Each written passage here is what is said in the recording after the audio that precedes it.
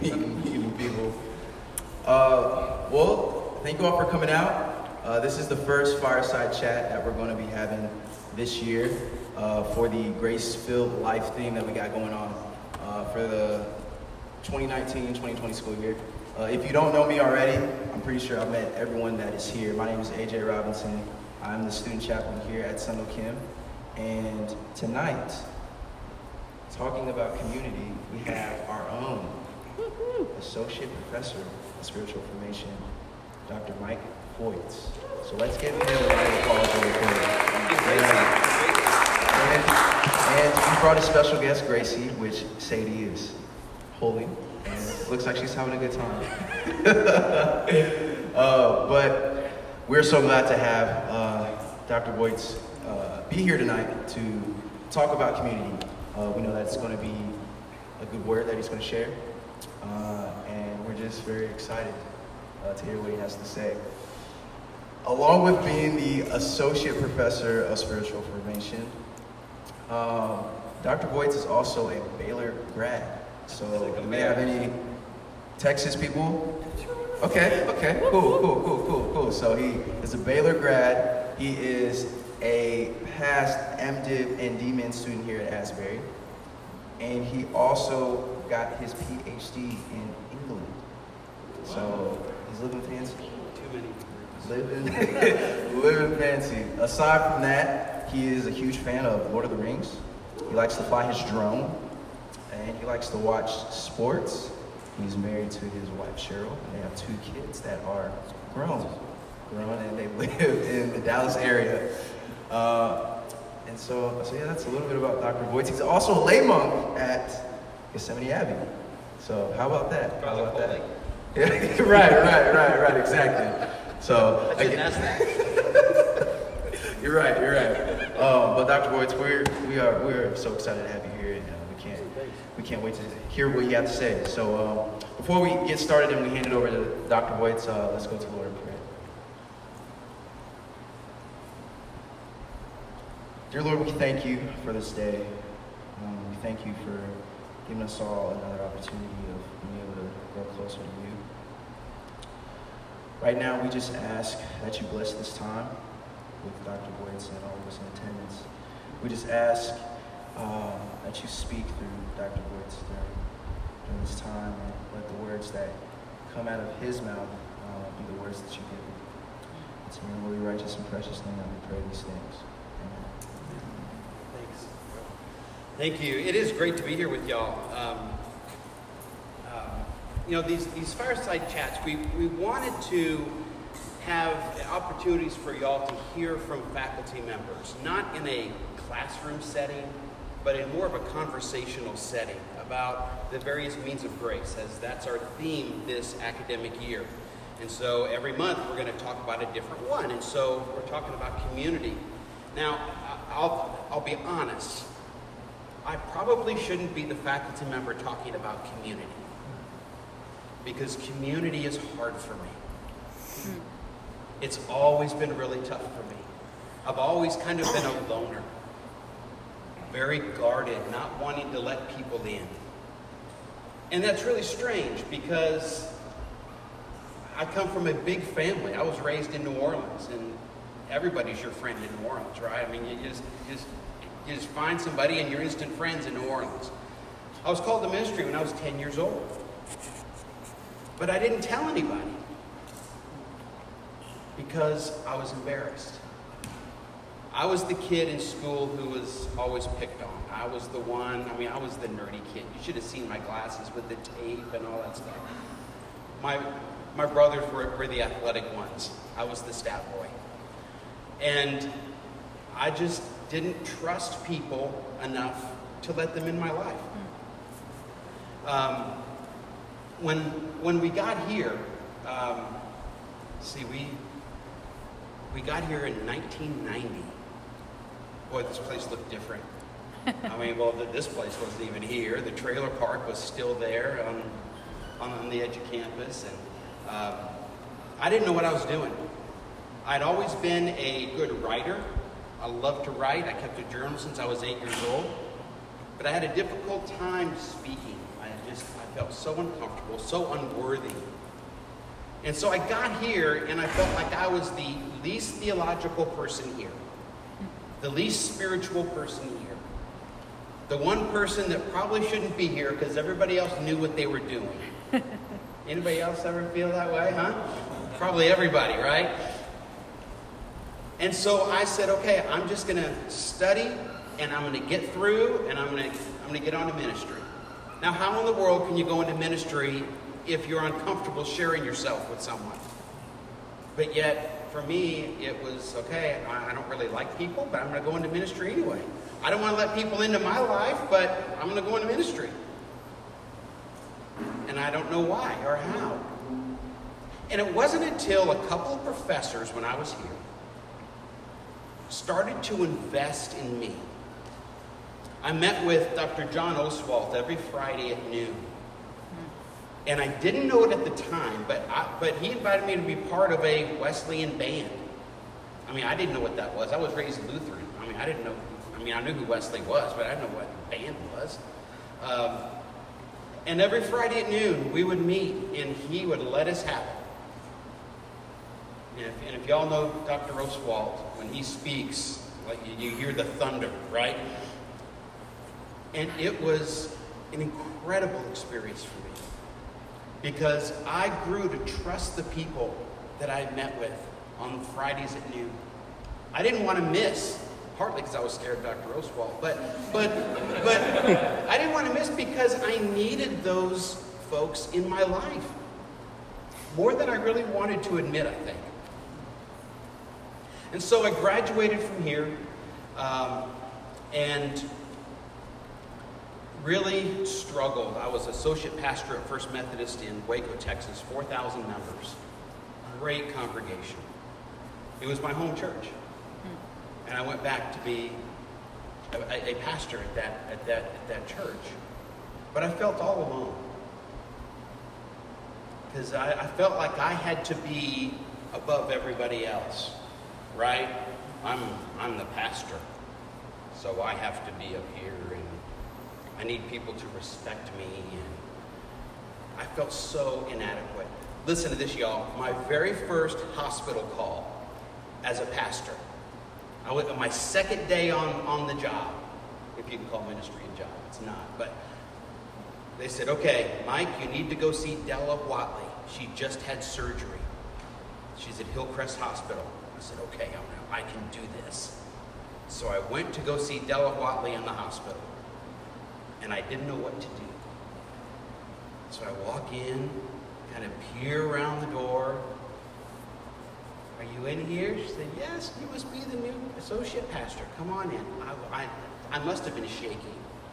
She said, Mike, it's going to be okay. I said, Thank you. Oh, I must have been crying or something. She said, she, I mean, she's just out of surgery. She said, maybe I should pray for you. I said, thank you. and so she prayed for me. Yeah, it was, it was a disaster, but I'm still laughing about it. And she went home to be with Jesus a few years ago, but up until that time, we still laughed about that. Um, here was a member of the church praying for her pastor. When I, as a brand new pastor, who just spent three years in seminary, should have been praying for her. And that ministry she offered to me was huge and really set me on a different path when it came to allowing people into my life. Because, mm. see, when I was a kid, the adults in my life kind of hurt me. I couldn't trust them. My friends, I couldn't, I felt like I couldn't trust them. And so I just went through life with this guard around me. And I thought that's the way life should be. You know, I, I, just don't want anybody to see the real me. And that's not any way to go through life. That's not any way to be in ministry at all. And we say that, but but y'all know what I'm talking about, because that's real. We're not used to sharing our our struggles with people because we give away some of that power and that control we have over our lives. And are they going to abuse it?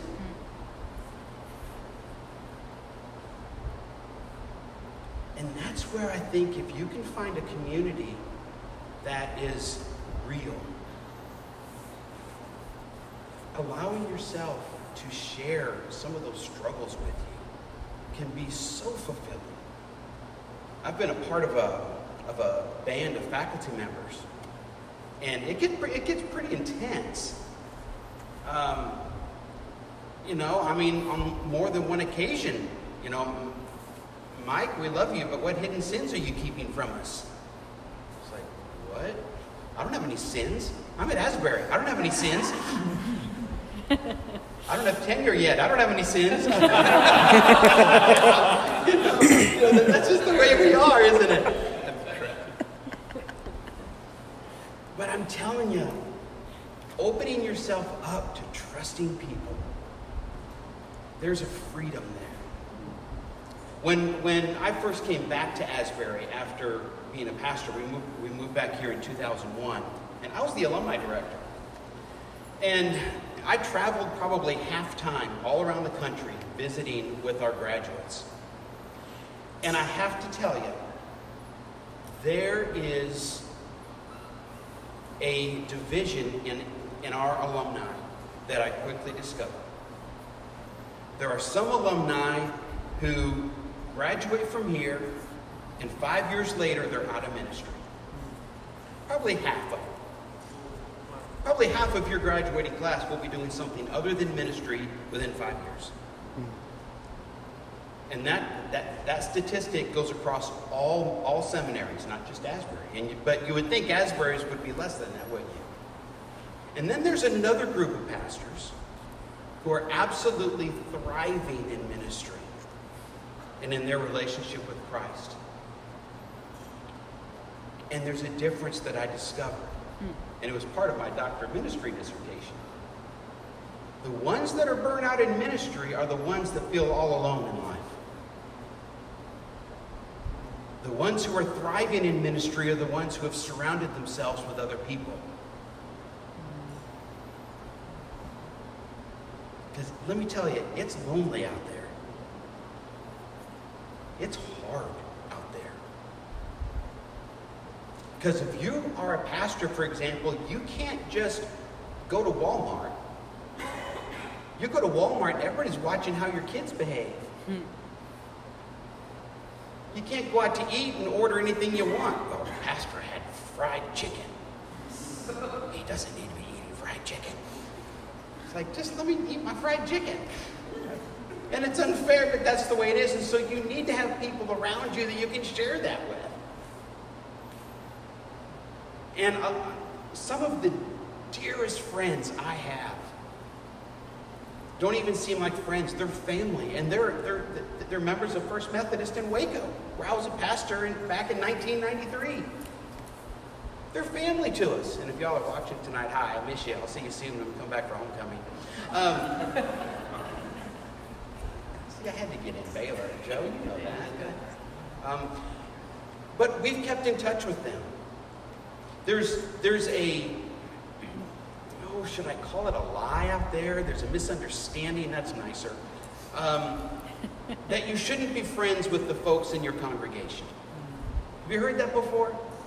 There needs to be a separation. Don't believe that. Be friends with the folks that are in the congregations you're serving. Let them into your life. A couple years ago, I had cancer surgery when I was pastor at the Methodist Church in Danville. And for the first time, I was on the receiving end of ministry.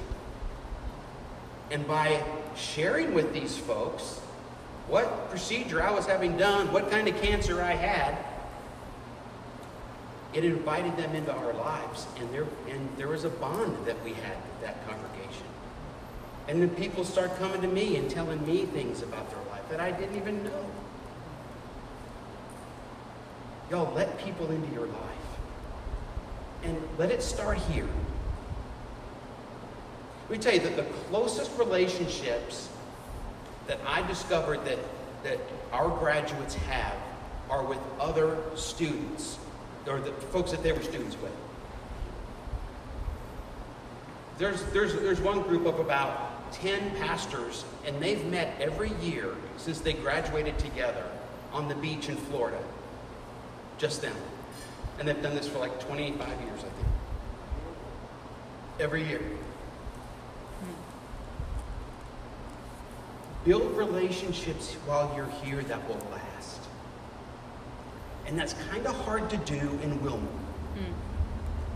It's kind of hard to do on this campus.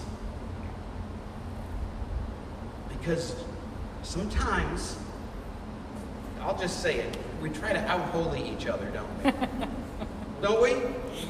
Or we try to like outsmart each other or out-worship each other. Okay, they're raising one hand in worship. I'm going to raise both. That's it. I mean, we, we do that. We're so guarded here because we have such a low view of ourselves that we want to try to outdo each other. If you can't allow people into your life while you're a student here, it's going to be really hard for you to do that when you leave here. Because the folks who are here have a shared call to ministry, a shared commitment to Jesus. Whatever that call to ministry is, there's a reason why they're here.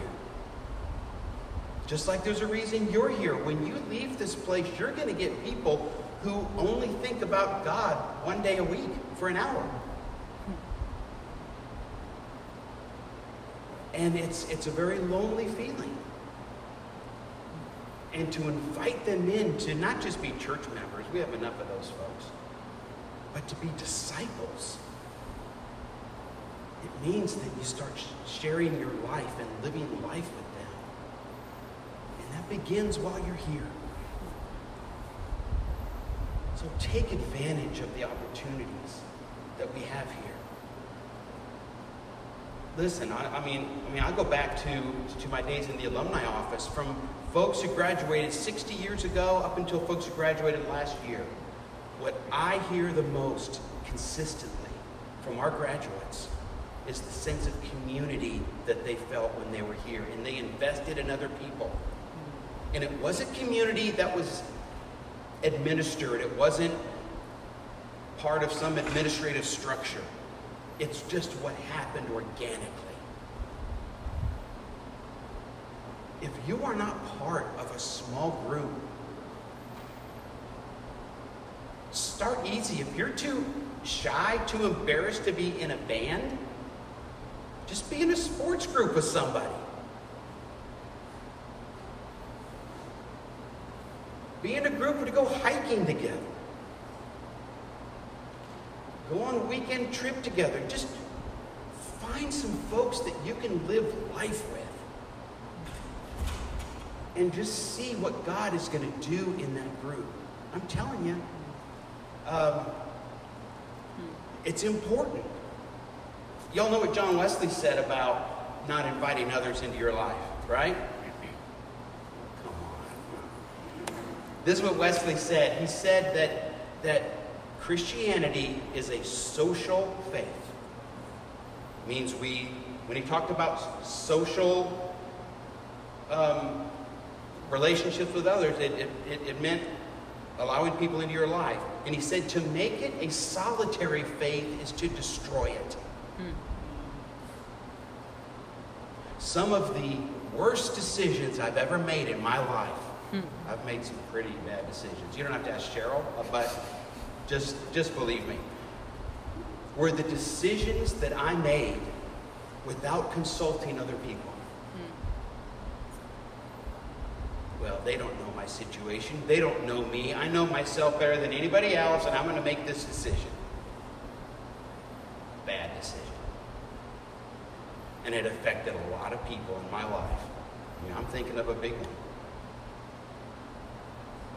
That's what other people can be to us. They can be the voice of God to us that we need to hear. Sometimes we don't want people in our lives because we know what they're going to say and we don't want to hear it. Hmm. Right? Huh? But that's why we need them in our lives to save us from ourselves. Yeah. I just want y'all to know um, that I'm just one faculty member, but the colleagues that I have on the faculty want to be in fellowship and in life with you all. We really do. Um, one of the reasons that I left pastoral ministry after 25 years of pastoral ministry was to be with y'all. Aw. Um, I'm not a world-class scholar. I mean, I'm a medievalist and I love translating medieval Latin. That's fun.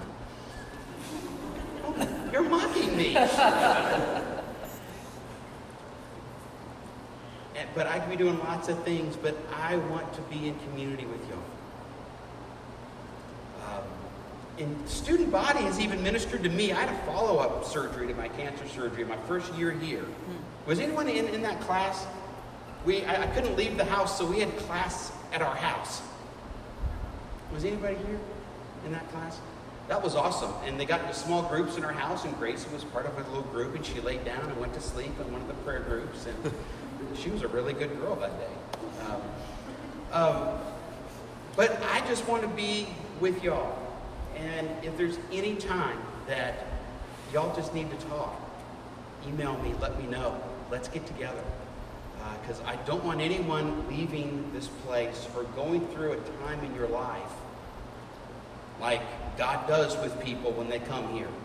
They come here for an education and leave with a whole lot more. And God really kind of messes up your life, doesn't He, while you're here? If I can further mess up your life, I would love to talk to you. Let me help you. I don't want you to feel like you're alone. Well, I've gone on way too long. Thank you all for joining us on Facebook Live. Um, let's have a prayer. Let's pray. Our Heavenly Father, we thank you for the gift of other people that you place in our lives. Lord, forgive us for not taking advantage of that, for not allowing people in so that we can bless them and they can bless us. Lord, we're sorry for the times that we have violated trust in people's lives. We know people have violated trust in our life, and Lord, some of us are still working through that. But I pray, Lord, that forgiveness for those people will come and be real in our lives. And that we will not close ourselves up, but allow people in. Thank you, Lord, for your presence. Thank you for Asbury. Thank you for your call on our lives that a lot of the folks in this room are still trying to, to, to figure out. But we love you. We pray this in the name of the Father, and the Son, and the Holy Spirit. Amen.